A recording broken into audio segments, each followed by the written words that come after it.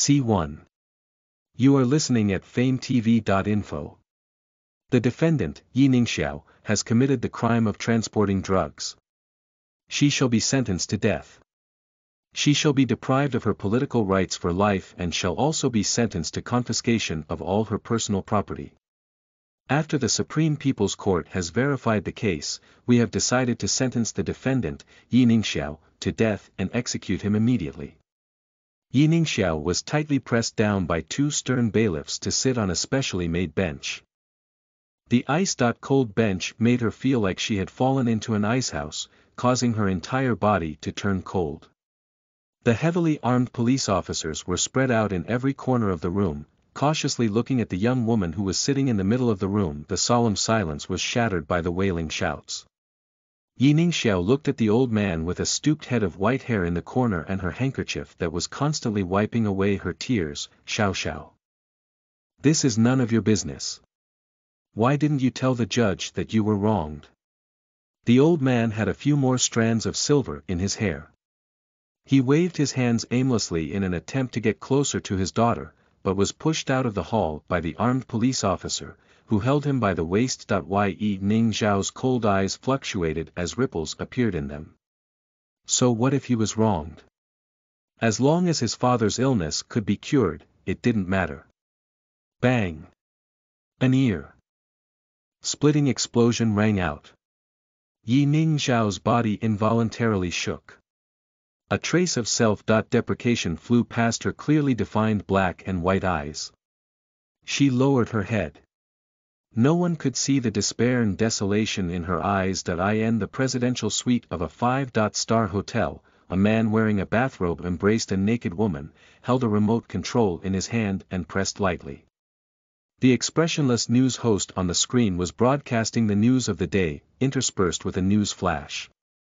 Today, the country's famous second-string female star, Yi Su, is executing her death sentence in a certain city's court, opening a prelude to the national drug crackdown, marking the determination of our government to fight drugs. The man had a sly smile on his face as he slammed the remote onto the sofa and rolled over, pressing the woman beneath him, the LED lights were dazzling, and parts of the country's famous film and television bases were brightly lit. In order to catch up, the crew worked overtime, the manager ran around giving out instructions, hurry, hurry, it's time to film the night match. Video, light ready. A chill went through her body as she felt the softness of her body being removed. Xiao Xiao, wake up. She couldn't help but shiver, and slowly opened her eyes. Didn't he already die from a single shot?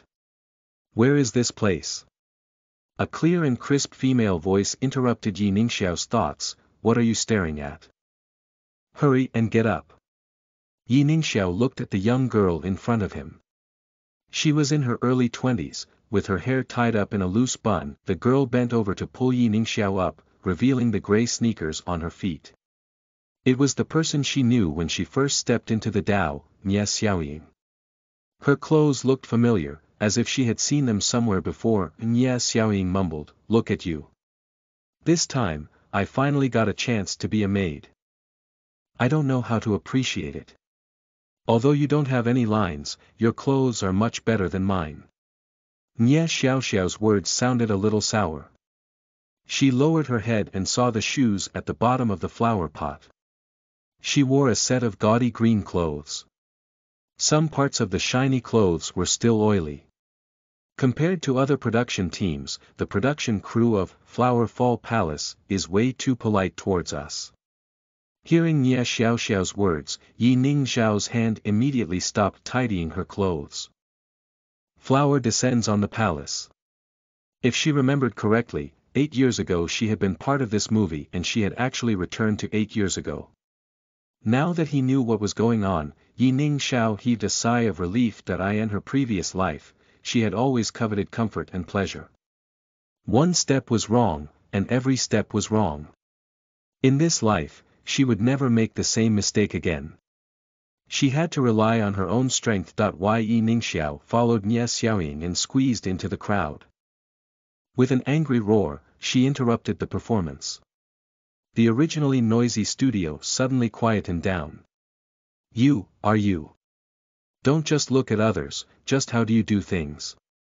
You can't say a few words clearly, and your expression isn't appropriate. Are you an actor or a spectator? The director, standing under the spotlight, was pointing at a palace maid and shouting. The recording board in his hand was shaking with a patter sound, the woman's lips slightly moved as if she was trying to defend something. Her eyes darted away as her gaze drifted away. The director took off his cotton cap and combed the sweat from his hair with his hand. His chest rose and fell continuously. Don't think that I don't know who you are, he said as he glanced at a corner of the crew. This is just a scene that's been filming back and forth four or five times, and it's dragging the entire process down. Ye Ningxiao looked thoughtfully at the director, who wore a woolen hat and a dark blue down-down jacket. In the industry, she was known for her fiery temper. In her previous life, Yi Ningxiao had played the role of a palace maid who did not have any lines to play as she did in A Flower Landing on the Palace. In his previous life, she had been stuck at this scene for a long time. The entire film crew had been postponed until they were no longer happy with her performance. Later, the same runner dot up on the volunteer to play this scene against the pressure, leaving a deep impression on the director, in the later scenes the director gave Anlu more opportunities to show her face, thinking of this, Yi Ning Xiao looked around the studio and saw Anlu, who was eager to give it a try, diagonally across from her. She looked passionately at the director with undisguised excitement in her eyes. An Lu turned around and pushed the man beside her. It was Wu Guang from the props team. Wu Guang gritted his teeth and was about to speak, but the sound of sobbing came from the studio, the girl who was scolded choked with sobs, I, I. Tears rolled down his face, but he could not say a word for a long time. Scram. After Lu Jin said this, she slammed the stage board in his hand onto the ground. Wu Guang's steps suddenly retracted. An Lu looked at Wu Guang sideways and reached out her hand to push him away. Director Lu, I've already heard this part. Can you let me try? The moment Yi Ningxiao's voice sounded in the studio, everyone sucked in a breath of cold air. She was really brave to dare to offend the enemy at this time. Ye Ningxiao bent over to pick up the recording board that Lu Jin had thrown on the ground and patted off the dust on it. She handed it back to Lu Jin with a smile. What kind of scenes hadn't she seen in her previous life? Although there were endless rumors and bad reviews, her acting skills were one of the top few among all the female celebrities. It would not be difficult for her to play the role of a small palace maid. Lu Jin's brows furrowed as he sized up Yi Ning Xiao. Clearly, he had no impression of Yi Ning Xiao. Can you do it? Lu Jin's gaze fell upon Yi Ning Xiao's eyes, which were as bright as the moon. He was calm and indifferent, with a confidence that was hard to see among the crowd of actors that he no longer said anything and could only try his best, get ready for the cameras. Get into position. Let's begin. An Lu bit her lips as she glared hatefully at Wu Guang. It was all his fault. If it wasn't for his cowardice, this chance would have fallen into her hands. Ye Ningxiao was kneeling on the ice-cold floor, her shoulders trembling.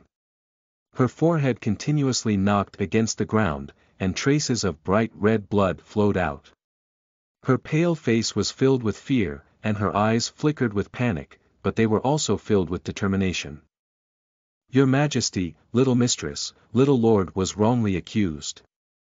Little lord didn't instruct this servant to frame the empress, these were all scoundrels trying to frame little lord. Yan Hung's voice sounded panicked, and after she finished speaking, she raised her head, and everyone discovered that there were tears on her face, her hair was a mess, and her forehead was red and swollen. This was a true act, not the effect of makeup. Ka. Very good. The director slapped his thigh, I never thought that there would be such a talent in the audience. What's your name? She wiped away the tears on her face and ignored the dirt on her knees. She smiled at Lu Jin and said, Director Lu, it's Yi Ningxiao. It's you. Continue on with the next scene. In the blink of an eye, it was already afternoon. The manager led Yi Ningxiao into an ancient room. Yi Ningxiao saw a bench placed by the door on the left side of the room. There were ropes and sticks on the side, and she already understood most of it, this was the scene of a palace maid being beaten up. Lu Jin waved his hand, where are the props? The props team hurried over and tied this, this Yi Ningxiao to a stool. Wu Guang immediately arranged for two young girls to clumsily tie a rope around Yi Ningxiao's body. Yi Ningxiao's eyes darkened and a trace of mockery appeared at the corner of her mouth. It was somewhat similar to her previous life before she died. However, she had fallen into her own trap in her previous life. Perhaps she had broken out of her cocoon and been reborn again. Director Lu, the arrangements have been made. Wu Guang stood beside the cameraman and made an okay gesture at the king landing. Beside him was An Lu, who was still resentful. However, the way she looked at Yi Ning Xiao was somewhat strange. There was a strange smile on her face. Yi Ningxiao lifted her head and met Anlu's gaze directly. Anlu hurriedly moved her face away and turned around to the side of another extras. The 22nd Battle of Flower Descends the Palace, begin. The Empress stood up from her chair, dressed in the luxurious robes of the hundred birds of a phoenix. Her sleeves knocked the porcelain cup onto the ground as she stared intently at Yi Ningxiao, who was kneeling on the ground. The ladies laid their cloaks on the empress's body to quell her anger. Beat him up. Beat him up. A young master's maid. Do you dare to ask me for his life? The director frowned as his lips moved. His right hand clenched into a fist as he smacked his left palm. The palace maid no longer hesitated, she no longer held the club in one hand, and instead held it tightly in both her hands. The wooden stick was instantly raised above her head. Pang, the palace maid brandished her staff and mercilessly hit Yi Ningxiao's back. The sound of her skin hitting flesh sounded extremely real. The flesh on Yi Ningxiao's waist instantly tensed up as pain spread from her waist to her entire body. Her scalp tingled with numbness. This pole is not a fake made of foam, but real wood. Listen to the full novel at fametv.info, direct link in the description.